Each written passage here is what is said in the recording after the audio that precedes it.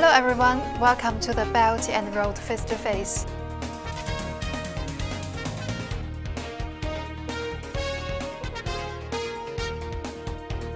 Actually, you know, Pakistani doctors are very much trained, competent, and they're renowned for their competency in the world. Construction of uh, China-Pakistan health corridor and also cooperation in the medical field, I think uh, would directly benefit the people. Uh, I think uh, there are a lot of potential, a lot of medical tourism potential is there. Hello everyone, welcome to the Belt and Road Face to Face. Our program is co-produced by China Economic Net and the Vsh News Television. I'm Wang Xiaotong from China Economic Net. Today I'm pleased to be joined in our studio by Cheng Xizhong, visiting professor at Southwest University of Political Science and Law, former defense attaché in South Asia. And we also have Mr. Kunwa Obaid from Pakistan, who is head of Urdu department at Pakistan Embassy College Beijing. Welcome. Let's enter the first part hotspot. China and Pakistan have agreed to step up the latest eyes technology in Pakistan and make efforts to boost the health corridor under the joint promotion of the Liaoning Provincial Development and Reform Commission and the Pakistan Embassy in China. A signing ceremony of the cooperation was held recently in Beijing. The launch of the comprehensive project of eye health for children and adolescents in Pakistan by the Hyes Eye Group and Pakistan's DEA Group has added a new chapter for the deepening of China-Pakistan eye health cooperation. There is large potential in the uh, health cooperation between China and Pakistan. So what specific cooperation can be carried out in the future to boost China-Pakistan health corridor? I think there are a lot of potential. Actually, you know, the Pakistani doctors are very much trained, competent, and they're renowned for their competency in the world. And they are already working in the different parts of the world uh, as a doctors. But the problem is the infrastructure, the hospitals, the equipment, the medical facilities are not like this, like in China. So mostly people after getting graduation, they don't have the job opportunity.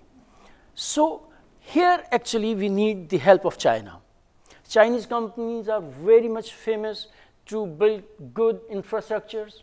They can build their big hospitals and as well equip these hospitals with a good uh, uh, latest machinery Pakistan will provide doctors, nurses, and other uh, medical staff. In this way, this joint venture make a hotspot Pakistan for the rest of the world as well. When they have a good infrastructure, they have good facilities and competent doctors, people will come to Pakistan for their um, for the medicines, for the uh, treatment.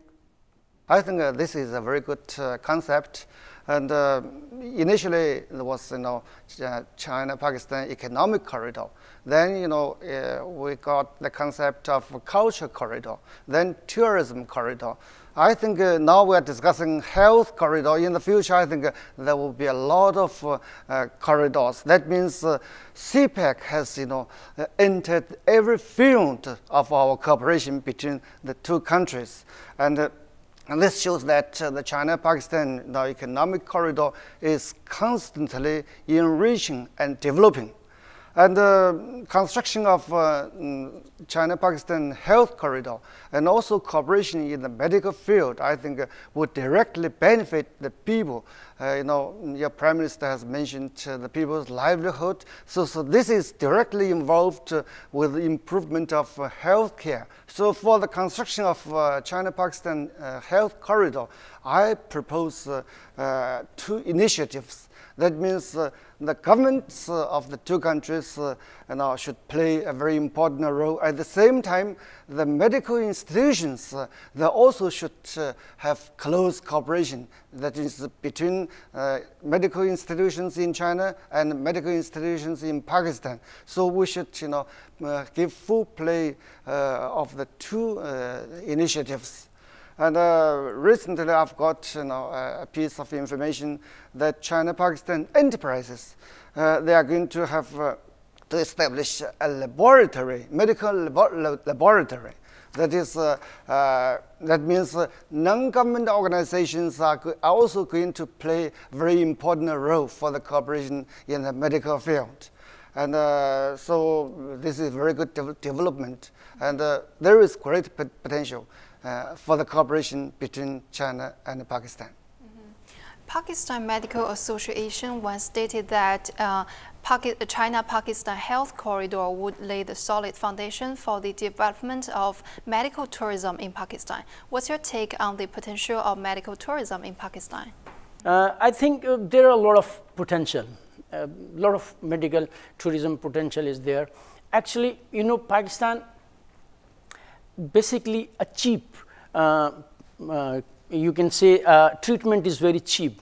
Uh, even in, uh, if you compare with the China, uh, even a very minor surgery in China, like surgery for this finger tip, mm -hmm, you may mm, cost more than 10,000 RMB, or around 10,000 RMB. But in, if you will do this thing in Pakistan, maybe it is two to 3,000 RMB. So the problem is Pakistan don't have that type of uh, infrastructure actually, the laboratories, the hospitals. So here actually we need the help of China. And if they will build a good hospitals, good laboratories, so all the people of the rest of the world, they definitely will prefer to come Pakistan for the treatment because it is, it is 10 times cheap, maybe more than 10 times cheaper than their countries.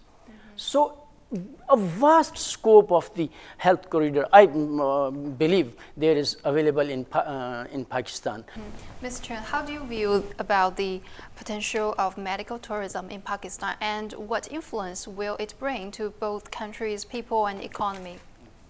Actually, this is another concept. Uh, normally, in the past, you know, in China, uh, India, Pakistan, medical care is mainly you know, a, a kind of welfare. So because uh, many people do not have enough money to have good health care.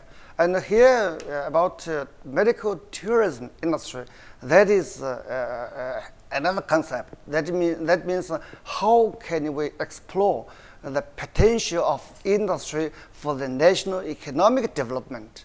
And uh, I've got some figures here. 2000, uh, in the year of 2000, the global uh, uh, medical tourism industry had a revenue of less than uh, 10 billion US dollars, the whole world.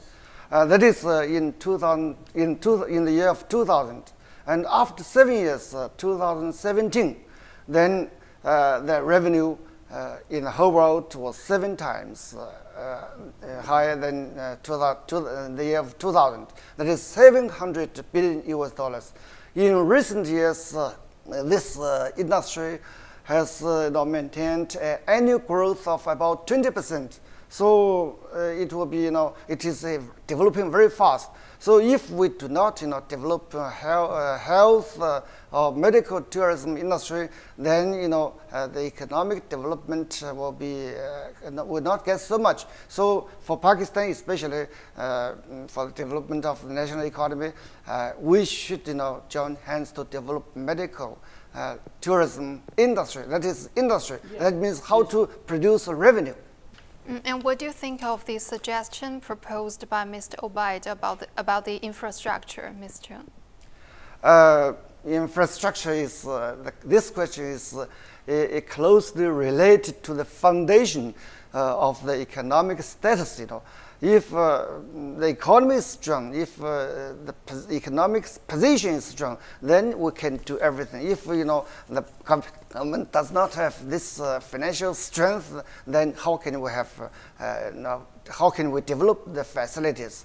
And uh, I think you know, so that's why we discussed the question of medical tourism industry. So through this way, we can produce some revenue for the development of the, of the infrastructure. Yes, I, uh, if I want to add something. Mm -hmm. Actually, yes, you're quite right that there should be a, um, uh, something to provide the uh, mm, investment. But you know, um, this is the win-win situation for both the countries actually. Yeah. If, uh, for example, the Chinese companies or the Chinese government help to build this uh, infrastructure in Pakistan, they definitely will earn money from that. Mm. And after that, uh, maybe they can uh, do it on um, some good loan, type of loan mm, and like uh, they already have done in the CPEC. So uh, after that, they will, uh, the Pakistani side will get the uh, fruit of that. And actually this, this make um, this the, a hotspot for the rest of the world. Yes. And the world will come there for the treatment.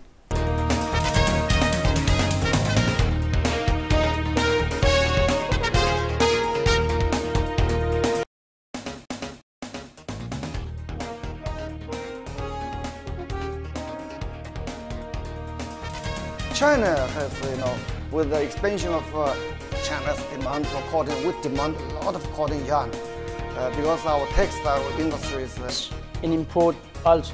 It, it lies actually the fact that Pakistan uh, make it no tariff. Uh, in Pakistan, uh, the whole country, almost uh, the whole year is quite warm, and the Pakistani people do not need so many clothes. I think this is one of the reasons they export. You're watching the Belt and Road face-to-face. Let's enter the second part figure. Pakistan exported 54.613 million US dollars of cotton yarn in August, registering a year-on-year -year decline of 51.36%, according to the Pakistan Bureau of Statistics. However, its cotton yarn export to China has surged in the same month. As data from China's General Administration of Customs shows, China imported 41.836 million US dollars worth of cotton yarn from Pakistan in August, which is 4.36 times the 9.592 million US dollars in the same period last year, with a year-on-year -year increase of 336%. Uh, what do you think is the reason behind the surge of Pakistan's cotton yarns export to China while the general's exports are decreasing? Actually, uh, the main reason behind this, the surge in import also it, it lies actually the fact that Pakistan uh, make it no tariff mm -hmm. because uh, for the export to China or any other country, there is uh, tariff free. So this is the main reason mm -hmm. for this increase, mm -hmm. one thing. The second thing is Pakistani yuan is quite cheaper than the even the Chinese yuan. Mm. Yuan. So uh, the Chinese, when they mm, import from Pakistan, mm -hmm. uh, they even get it on the cheaper price than they will buy in the China. Mm -hmm. And the third thing is, actually, the cotton is a main um, product of Pakistan uh, agriculture. -hmm. And Pakistan uh, have a lot of, um, give a lot of importance to the uh, cotton growth. So Pakistan actually earn a lot of money from cotton. Mm. So now they, they ultimately want to export that mm -hmm. because in their own country they don't have a lot of, mm, uh, I mean, the textile facilities to pro produce the finished goods.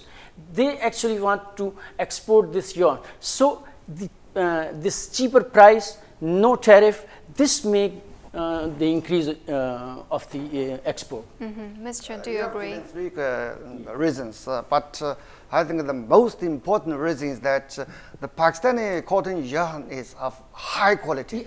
Quality is the best, maybe yeah. best in all in over the world. Yes. Mm -hmm. So I'll give you another reason, four reasons. Mm -hmm. And recently, Pakistan's cotton mills have purchased a large number of uh, domestic and important uh, cotton. Uh, due to the reduction, reduction of domestic cotton production and also rising prices in Pakistan. And as of September 15th, that is last month, the market volume of Pakistan's cotton was only 1 million and 40,000 barrels. And uh, with a year-to-year decrease of 820,000 uh, barrels. So there is cotton production is lower than last year. Yes, yes. Uh, there is not enough cotton in the domestic market, so the cotton mills have imported from other countries. And I think number one is uh, uh, from Brazil. And Pakistan also imports from uh, East Africa and West Africa, and also Argentina and Sudan. And also you import from America with special prices China has, you know, with the expansion of uh, China's demand for cotton, we demand a lot of cotton yarn. Uh, because our textile industry is uh, you know, also very developed, uh, they have to import a lot of uh, uh, cotton yarn. and the price in Pakistan, as you said, is reasonably uh, uh, cheaper than yes. Uh, yeah. This is one of the reasons. Mm. what measures can be taken to further boost the Pakistan's cotton yarn exports worldwide? when I was small, uh, you know, we had a lot of cotton fields in, in, my hometown. So I say I grew up uh, in a cotton uh, producing area. And uh, the cotton, uh, so that's why I have some knowledge about uh, cotton. Also, very hard job and hard work in the field uh, yeah, yeah. from early morning till uh, late at night. A lot of you know, work in the field. Yeah. And the cotton growth needs uh, three basic conditions. That is sufficient light, sunshine, and suitable water. Climate, the soil, and the environment you know, of Pakistan are very suitable for planting cotton. And also why Pakistan produce a lot of cotton, the export, the export also cotton yarns, because Pakistan, uh, in Pakistan, uh, the whole country, almost uh, the whole year is quite warm. And the Pakistani people do not need so many clothes. I think this is one of the reasons they export. I mean, yeah. and we have a very cold winter, you know, yeah. uh, padded clothes in uh, cold weather.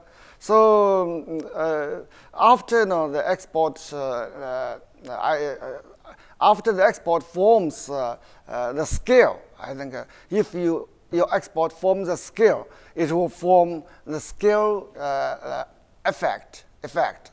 So further drive the development of cotton-related industries and further drive the exports of you know, cotton yarn. And uh, the textile industry in, in Pakistan is quite developed because uh, you have four, mainly four uh, export-oriented uh, industries, and the textile, industry is the pillar uh, of export, you know, uh, accounting for about 60%, more than 60%. Uh, recently I got a figure that is accounting for 66%. I think if the government has proper policies, will increase, you know, substantially in the future. I, I, I will agree uh, in that. Actually, the case is in Pakistan, uh, what I felt that uh, uh, in, there are few areas, especially the South Punjab, mm. the Indus, Sindh, uh, they are cotton producing areas. But the problem is nowadays, there are two main, there, the farmer is facing two main problems.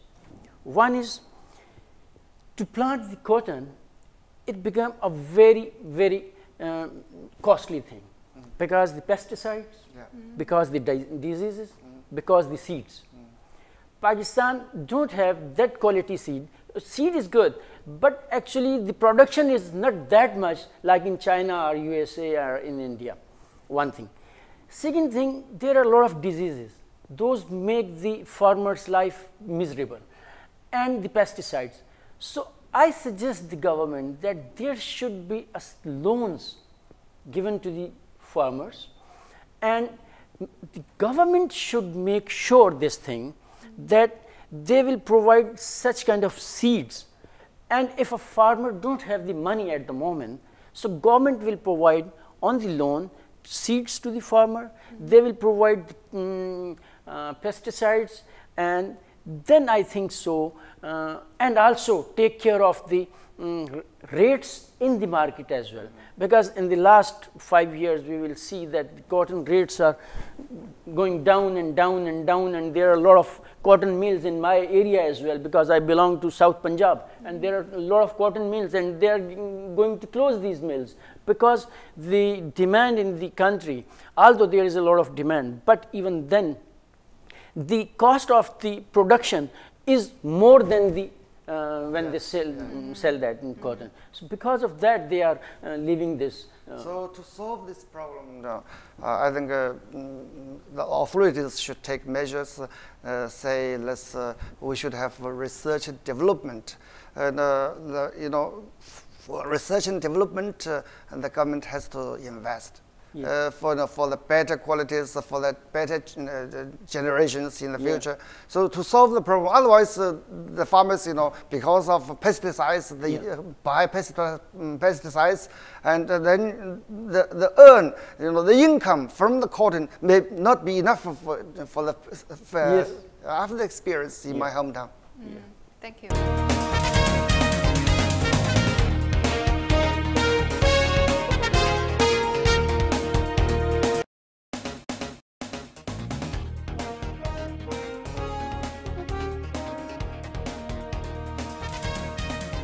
Actually, Pakistan is considered a hidden jewel by the locals when it comes to the natural beauty.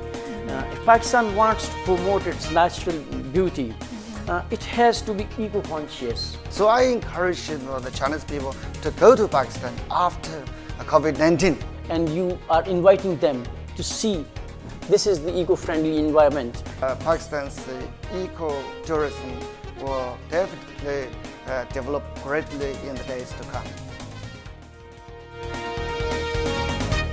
You're watching the Belt and Road face to face. Let's enter the third part culture.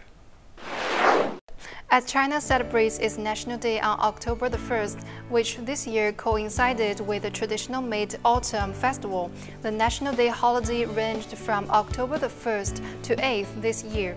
Data from the Ministry of Culture and Tourism of China indicate that over this eight-day holiday, people in China have made more than 600 million trips domestically, generating around 500 billion yuan in tourism revenue, reflecting a strong recovery recovery in domestic tourism sector in China. At the same time, tourism industry in Pakistan is also showing strong momentum since it resumes business on August the 8th. What places in Pakistan do you recommend uh, Chinese tourists to come? Uh, in Pakistan, a big uh, ancient civilization like Gandhara, like Indus Valley civilization, and Gandhara actually belonged to the Buddha and here in China a lot of people are um, uh, you know uh, related with the Buddha. Even in the Southeast Asia people. And Pakistan have a lot of things about that. The Taxila city actually is the uh, center. Yes was the center of the uh, Buddha, Buddhism. So and um, if you will visit the Pakistan, uh, Lahore Museum Pakistan you will find the statue of Buddha uh, which is called fasting Buddha and that statue is the unique in the whole world. Mm. Very unique thing. And uh, um, not only this, there are a lot of other things as well in the Taxila Museum, in the Lahore Museum.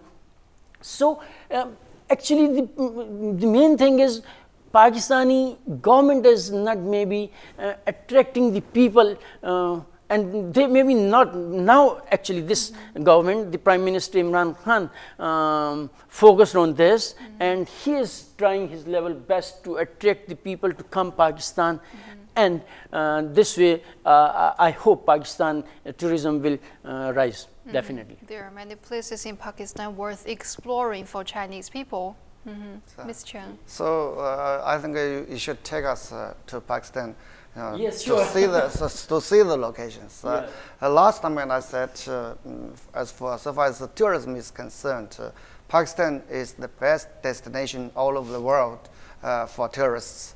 And for the Ms. Wang asked what, what is the exact location. And I think it's for mm, people with different interests, we have different destinations, yes. locations to, to see in Pakistan.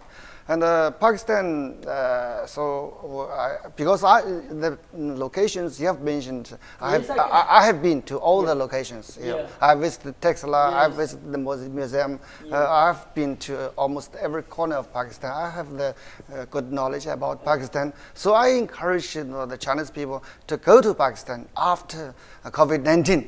Uh, so you have to control the situation. Yes, yes. And uh, I always, uh, you know, believe that uh, Pakistan has great potential uh, to develop tourism.